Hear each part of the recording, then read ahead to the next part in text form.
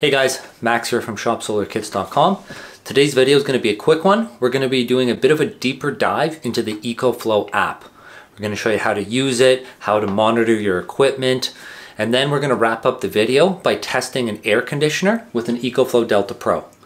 One of the most common questions we get are people asking how long can an air conditioner be powered by a solar generator.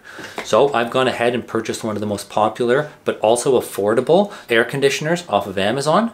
We're going to plug that into the EcoFlow Delta Pro, see how long that would run for to give you a realistic idea of what you would get in a similar situation. So before we can start using the EcoFlow app, we need to download it onto our phones or our iPad, whatever you have. So go to the App Store. I've got an iPhone, so I go into the App Store and I've typed in EcoFlow. Make sure to download the app onto your phone and make sure to update it as well. I ran into a few issues here. I was actually about to message EcoFlow thinking that their app wouldn't work, but I needed to go in and update to the latest version of the app. So once you download it, make sure that you have it updated to the most recent version of the app or else it's not gonna work. Once you have the app downloaded, you're gonna wanna hit the top right button click the plus sign and connect to the device that you have purchased. As you can see here, it lists out all the available products that can connect to the app. For testing purposes, as you can see on the app, I've got both a Delta Pro and a Delta Max. The app allows you to connect as many EcoFlow devices as you have into the app and you're able to monitor and handle all of them from within the app. Once you've got that, it's going to prompt you to hold down the IoT reset button. On the Delta Pro, the IoT reset button, all that really means is just the Wi-Fi button. That is on the side of the unit here on the DC side. It's actually right beside where you can connect the remote control. Once you've held that down and you've paired your Delta Pro with the app, now let's go through and look at the app and go through the functions that the app actually has. We'll notice on the front of the app, you can see the percentage of charge of the EcoFlow Delta Pro. Notice here and take note that it's at 91% state of charge, and I'm gonna come back to this in a second. You can see the input and the output, either what you're charging or what you're discharging. You can see all of the ports on the front, all of the USB ports, and if they're charging anything. Now that we've plugged in the USB-C charger to charge up the phone, we can see that the front of the Delta Pro, the app up here, and on the bottom right, where it shows the USB-C charger, we're showing an output of 5 watts while we charge up the phone. If you come up to the top, this is where you're able to change various settings in your EcoFlow Delta Pro. If you hit discharge and charge level, you can actually set the percentage of charge that you want your Delta Pro to operate within. So I've gone in and I've said that I don't want my Delta Pro to get less than 9% battery and I don't want it to charge more than 91%. I told you before that you could see that this is marked at 91% and I actually have the Delta Pro plugged directly into the wall right now. Because I've marked this at 91% and I don't want the Delta Pro to charge anymore, it won't. Now let's go through the app right now and I'm gonna put this to 100. I'm gonna hit confirm and we're gonna watch instantly how this starts to charge. You can see it's already shooting up. And let's go back now to the main settings tab on our app. As we can see the input going to 1500 watts. If I want to change that back and I'm like, no, I, I actually don't want this to charge up to 100, I'm going to go back into the app and change it to 92. I'll hit confirm.